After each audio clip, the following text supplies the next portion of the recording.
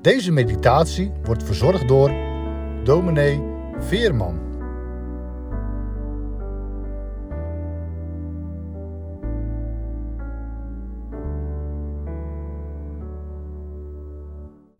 Beste luisteraars, we lezen met elkaar uit Daniel 7, het eerste tot en met het achtste vers.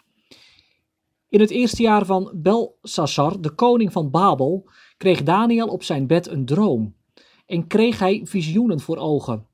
Hij schreef de droom op. De kern van de zaken omschreef hij als volgt. Daniel nam het woord en zei: S'nachts in mijn visioen keek ik toe, en zie, de vier winden van de hemel zweepten de grote zee op.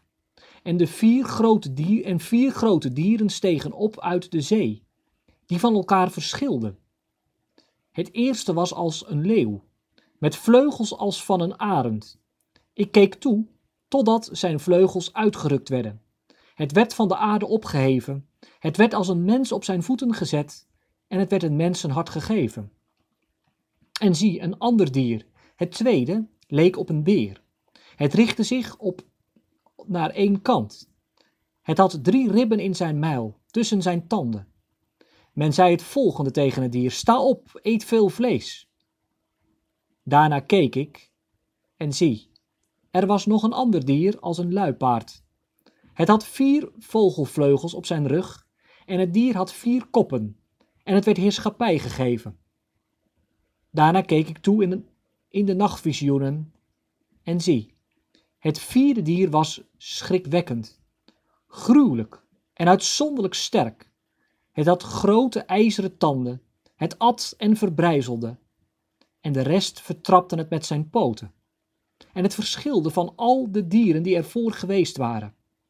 En het had tien horens. Terwijl ik op de horens bleef letten, zie, een andere kleine horen rees daartussenop. Drie van de andere horens werden voor hem uitgerukt. En zie, in die horens waren ogen als mensenogen en een mond vol grootspraak. Tot zover de lezing uit dit afschrikwekkende visioen. Een visioen dat Daniel ontvangt en als hij het visioen gezien heeft, is hij er lijkbleek van. Geheel ondersteboven. Hij ontvangt het visioen in het eerste jaar van Belshazzar. Historisch gezien moeten we deze visioenen plaatsen tussen Daniel 4 en 5, als je de geschiedenissen van, David, van Daniel leest. En zijn leven zo doorgaat. Dus tussen hoofdstuk 4 en 5. Belshazzar is koning geworden en Daniel is politiek op een zijspoor geraakt. Een man van een jaar of 70. Het visioen dat hij krijgt heeft veel parallellen met de droom van Nebukadnezar. Het bekende droom van het grote gouden hoofd, zilveren borst en die, ijzer die metalen die steeds minder van glans worden. Er zit wel een verschil in de droom met Nebukadnezar. In de droom van Nebukadnezar hebben de rijken nog enige glans. Nu, in dit visioen, valt er een veel sterkere nadruk op de macht van de duisternis in die rijken. Het antichristelijke element wordt onderstreept. Het visioen opent onze ogen voor de kracht van de machten die zich tegen God en zijn kerk verzetten. De machten die zich verzetten tegen Jezus Christus. Aan de andere kant, als het visioen in zijn geheel lezen, en we zullen dat de komende dagen nog doen, klinkt daar een bemoediging. Een bemoediging voor mensen in verdrukking, de kerk in de verdrukking, de kerk in het laatste van de dagen, de kerk vandaag. Er is er één die regeert. En dat is God. God regeert door zijn zoon. Vandaag dus de eerste, het eerste deel van het visioen. De vier dieren en hun macht. Je ziet ze voor je. Daniel ziet een kolkende zee. De wind maakt de golven woest en zij bruisen. Die zee staat voor de onrust van de wereld. Deze dagen bruist de zee ook. De golven zijn woest en ze kolken en de wind waait over het strand. Als we de zee zo voor ons zien, dan zien we die macht. Nou, de wereld wordt vergeleken met een kolkende zee. Onstuimig en woest. Er gebeurt van alles. Koningen staan op, rijken komen en rijken vergaan. Er is oorlog. En stromen vluchtelingen zijn onderweg. En soms weet je niet waar het naartoe gaat met deze wereld. Grillig en omstuimig. De zee. Staat ook voor de machten die zich tegen God keren. Denk maar aan die bekende geschiedenis van de Heer Jezus. Die ligt te slapen in het schip. Hij heeft de macht, maar intussen woeden de elementen en proberen ze de heiland, de Heer Jezus, te verslinden. Nou, de zee dus, dat staat voor de wereld en de macht die zich tegen God keert. En uit die zee komen vier dieren naar voren. Afschrikwekkende dieren. Geen gewone dieren, maar samengesteld. De dieren lijken op de afgoden van de heidenvolken. En die samenstelling duidt op hun onreinheid. Want volgens de wet van Mozes mogen die verschillende soorten dieren niet met elkaar paren. Het anti-goddelijke spat van deze monsters af. En je ziet ze voor je. De koninkrijken van de wereld, die elkaar opvolgen en weer verdwijnen. De koninkrijken van de wereld, die zich met geweld storten op Gods volk Israël, die zich ook met geweld willen storten op de kerk. Als ik zo even naar deze monsters kijk, dan wordt mij één ding duidelijk. Dat wij niet moeten schrikken en niet vreemd moeten opkijken van strijd, van vervolging, van de gaskamers uit de Tweede Wereldoorlog, van politieke systemen die van alles, die alles wat met God en geloof te maken hebben, proberen te vernietigen. Het visioen van David, van Daniel, bereidt ons daarop voor. Verlangen, verlangen wij naar de wederkomst? Ja, daar hoop ik op. Maar wanneer wij Daniel 7 lezen, dan besef ik dat het door een tijd van strijd heen gaat. En dat wij op dit moment leven in die tijd dat de machten van de wereld zich roeren. Vier dieren. Kijken nog even naar, naar die dieren. Welke machten zijn het? Nou, het eerste dier is een leeuw met vleugels als van een arend. Die vleugels die worden uitgerukt. Waar gaat het om? Nou, dit staat voor het Babylonische Rijk.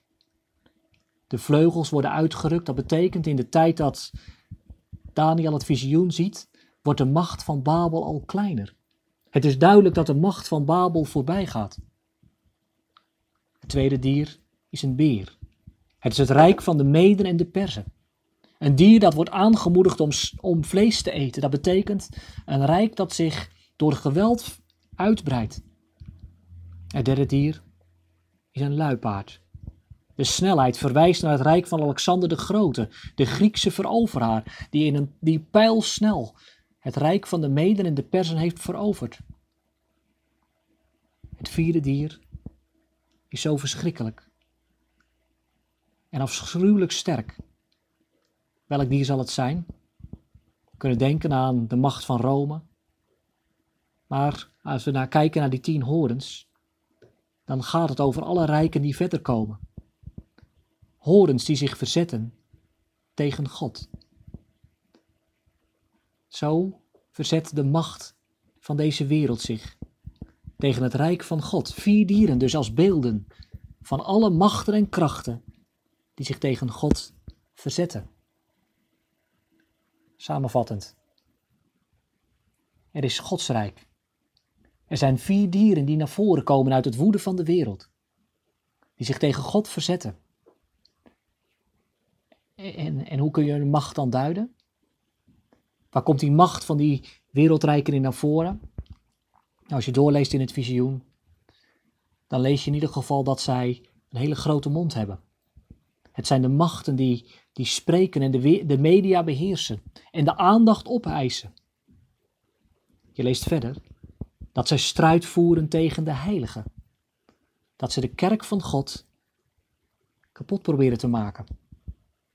We lezen dat de machthebbers van de wereld tijden en wetten proberen te veranderen. De goede structuren die God gegeven heeft in de schepping, willen zij omdraaien en kapot maken.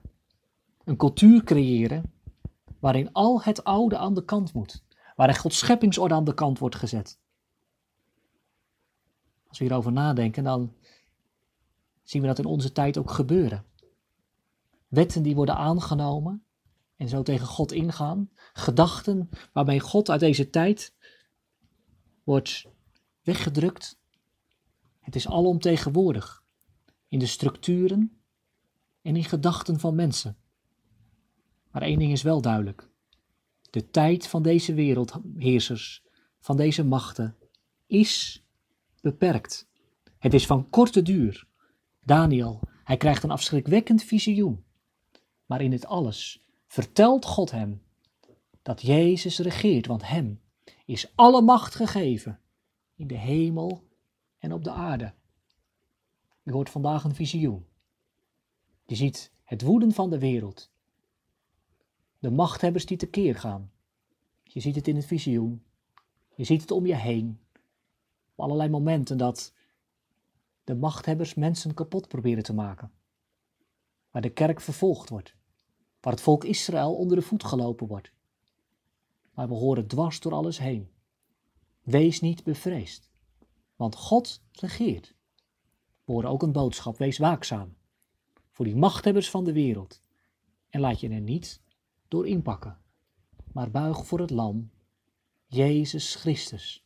Want er is er één, het lam, dat vele malen sterker is dan al die wereldheersers.